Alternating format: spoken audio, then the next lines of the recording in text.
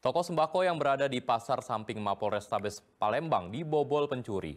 Walau korban telah kemalingan hingga 10 kali, tetapi polisi belum bisa menangkap pelaku yang membobol toko yang terletak di samping Mapol Restabes. Dengan tenang pelaku pencurian masuk ke toko sembako yang berada di samping Mapol Restabes Palembang. Setelah membobol tembok di belakang, pelaku menggasak satu persatu barang. Kamera CCTV juga dirusak pelaku. Walau berada di samping markas polisi, ternyata toko ini sudah 10 kali kemalingan. Tahun ini Be, tiga kali sudah. Bulan ini? Bulan ini. Oh, total sudah berapa kali? Sepuluh kali pas. Oh, ini terakhir ini pelaku Terakhir, terakhir ini. terakhir pelaku terekam CCTV ya? Ya, Ah, dirusak CCTV. dirusak CCTV-nya nah. Di sini. Ciri-ciri bang Yang di dalam dicengkemnya juga. Oh iya. Yang terjengok dewean. Oh, ada aneh Berarti Apa bang yang hilang? Beras, sampo-sampo. Nah, itu ya.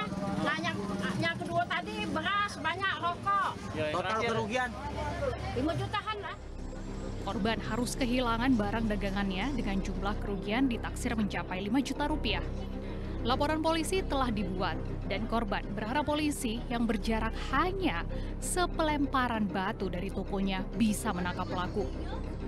Dedi Ruansyah melaporkan dari kota Palembang.